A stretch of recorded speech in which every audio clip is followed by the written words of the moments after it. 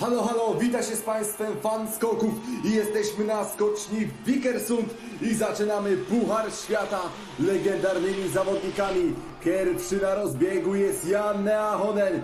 Wieje, wieje dzisiaj pod narty, a więc liczymy na bardzo dalekie skoki, takie jak ten. I zaczynamy. Z wysokiego C ten konkurs. 234 metry. I Hoden na razie na prowadzeniu. A wy zostawcie łapę w górę i zostawcie suba z dzwoneczkiem bo jak wiecie YouTube ucina zasięgi a drugi na belce jest Kamil Stoch. A zatem pierwszy z Polaków. I popatrzmy jak poradzi sobie nasz mistrz olimpijski. Wysoko, leci wysoko, trochę nim buja w powietrzu, ale powinien prowadzić. Czy wystarczy, aby pokonać Achonena? Tak jest, świetnie, świetnie Kamil. Wyprzedza Achonena o prawie dwa punkty. I Sven Hanawald, wielki rywal Adama Małysza, gdzie publiczność rzucała w niego śnieżkami w Zakopanem. I popatrzmy, on nigdy nie był jakimś wielkim lotnikiem, ale co pokaże w tej próbie? Jest dobry skok. Jest powyżej 230 metrów a zatem będzie, będzie ciekawie w tej drugiej serii. O na razie poziom jest bardzo wysoki i przede wszystkim wyrównany. I Mati Nykenen przez wielu uważany za najlepszego skoczka w historii tej dyscypliny. A jak poradzi sobie na skoczni Vikersund Baken, ależ leci wysoko i czy będzie prowadzić? Chyba tak. 235 metrów, najdłuższy skok jak na razie tej pierwszej serii, a zatem Mati Nykenen prowadzi, a co to na to nasz orzeł z Wisły, Adam Małysz wieje, wieje mocno pod narty, ale czy to wykorzysta? I popatrzmy, Adam leć, leć jak za najlepszych lat, oj będzie daleko, łapie noszenie i świetnie, i Adam prowadzi, ależ rewelacyjny skok Polaka, 237,5 wysokie noty i Adam na razie na o dwa punkty wyprzedza Matiego Nykenena, a na belce z szóstym numerem Jens Weifslok, a zatem legendarny skoczek niemiecki.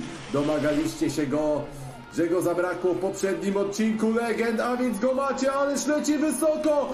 Gdzie on wyląduje? I wylądował na dwie nogi, ależ odpalił rakietę Jens Weifslok! 239,5 ale przez to lądowanie na dwie nogi jest na drugim miejscu. Ależ mamy poziom dzisiejszego konkursu. Ajajaj. I Thomas Morgenstern. No Morgi pokaż. Nigdy nie radził też sobie jakoś. Wyśmienicie na skoczniach mamucich. On wolał te mniejsze. Ale zobaczmy są dobre warunki. I ten skok jest naprawdę dobry przyzwoity 234,5 i na razie Morgi jest piąty. Powoli zbliżamy się już tutaj do końca. Stefan Kraft, komputer pokazuje, że musiałby skoczyć 240 metrów, aby prowadzić. Czy rekordzista świata z tego obiektu jest w stanie pofrunąć tak daleko? A może poprawi swój rekord świata daleko? I jest!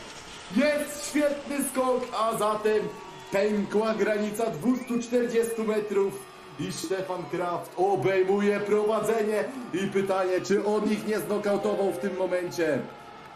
Martin Schmidt i popatrzmy, 28 razy wygrywał zawody Pucharu Świata. Czy dołoży kolejne? Też dobre wyjście z progu, płasko, bardzo płasko. Łapie teraz noszenie daleko, ale nie tak daleko jak Stefan Kraft. 236,5, ale będzie w czołówce Martin i Gregor Schlierenzauer.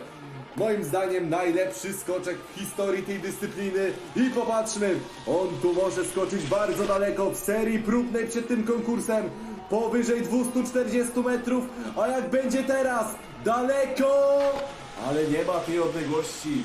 Dopiero na dziesiątym miejscu Gregor Schlierenzauer, ale to tylko pokazuje jak jest ciasno. A na górze został już on, szwajcarski Harry Potter, Simon Aman i popatrzmy. Jak poradzi sobie Szwajcar? Czterokrotny mistrz olimpijski. Wyszedł wysoko, bardzo wysoko. Nie wiem, czy nie za wysoko, Simi. No i zabrakło tej odległości, tak jak myślałem. Za wysoko wyszedł Simon Aman, 232 metry i na 11 miejscu. Zatem jak widzicie po pierwszej serii Stefan Kraft liderem, drugi Adam Małysz i na trzecim miejscu Martin Schmidt, czwarty Jens Weisslot, piąty Matti Nykenen, a my przechodzimy do drugiej serii, a zaczynać ją będzie Simon Aman. 232 metry w pierwszym skoku. Dało mu to 11 miejsce, ale wiemy, że Simiego stać na więcej. Teraz widać, że wyciągnął wnioski z pierwszego skoku. Daleko! Wydawało się, że będzie dalej, ale ten skok jest świetny. 234 metry i na razie prowadzi i zobaczymy co na to reszta rywali. Gregor Schlierenzauer Komputer pokazuje, że musiałby Schlieri skoczyć 237 metrów.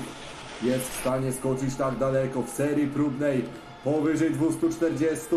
Trochę liczyłem na dłuższy skok w tej pierwszej serii, a teraz jest lepiej. O 1,5 metra 236 i na razie Schlieri prowadzi, ale pytanie na jak długo, bo na belce mamy już Svena Hanawalda, a wam przypominam, abyście zostawili łapę w górę i suba z dzwoneczkiem oraz wbijali do grupy na Facebooku, do której link macie w opisie.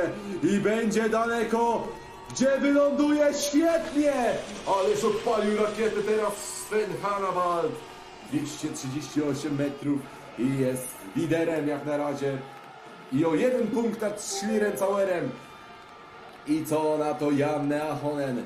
On świetnie czuje się na skoczniach do lotów. Pamiętamy ten jego skok w planicy na kacu. Wyskoczył 240 metrów, ale upadł, a tymczasem tutaj jakiś błąd. Jakiś błąd popełnił Janne Ahonen i to jest fatalny skok. I spadnie w klasyfikacji tego konkursu Janne Ahonen i Thomas Morgenstern. Siódmy po pierwszej serii i popatrzmy. On też tutaj może skoczyć dobrze, chociaż wiemy, on woli te mniejsze skocznie, ale popatrzmy. Wysoko będzie świetnie i przeskoczył wszystkich. Ależ skok 240 metrów Morgiego. No po nim bym się tego nie spodziewał. Od kiedy Morgi tak świetnie sobie radzi na mamutach. I Kamil, ale miejmy nadzieję, że on poradzi sobie jeszcze lepiej. Były rekordista skoczni w planicy. Powyżej 250 metrów tam lądował. A czy powtórzy ten wyczyn na Wikersundbakken? Ale skok Kamila Stocha odpalił rakietę 242,5 i to jest najdłuższy skok tego konkursu, ale nie prowadzi. Lądował na dwie nogi i przegrywa o jedną dziesiątą z Tomasem Morgensternem. A co na to Matti Nykenen? Piąty po pierwszej serii. Warunki, warunki jakby się trochę pogorszyły. Matti wyszedł teraz bardzo płasko. I czy złapie noszenie? Jest dobry skok, ale nie ma tej odległości, aby bić się o zwycięstwo w dzisiejszym konkursie. Dopiero na czwartym miejscu Jens Weibslok. Komputer tu nam pokazuje, że 240 metrów są potrzebne, aby Niemiec prowadził. Czy jest w stanie powtórzyć skok z pierwszej serii? Oj, będzie daleko, będzie daleko, bardzo daleko i ustał! Jak pięknie wylądował! 242,5 Jens Weisslok obejmuje prowadzenie. A czyżby, o, czyżby to on miał wygrać? I zobaczmy trzeci po pierwszej serii Martin Schmidt. Jeśli Niemiec już na pewno stanie na podium w dzisiejszym konkursie, tylko pytanie kto na którym miejscu. Zobaczymy jak poradzi sobie Martin daleko. Jest, oj, oj, oj, nie ustał tego skoku. 241 metrów. Chyba za szybko podszedł do lądowania i na ósmym miejscu na razie Martin, a zatem Jens Weissflok już na pewno będzie na podium, ale my teraz trzymamy kciuki za Adama Małysza, 244,5 musiałby skoczyć potwornie daleko Adam, ale on jest w stanie to zrobić już nie... O, chyba jednak nie tym razem. Błąd przy wyjściu z progu Adama Małysza i zabrakło tej odległości. 217 metrów i Adam niestety spada na dziewiąte miejsce, a na górze został już Stefan Kraft. Pierwszy po pierwszej serii, 240,5 w pierwszym skoku.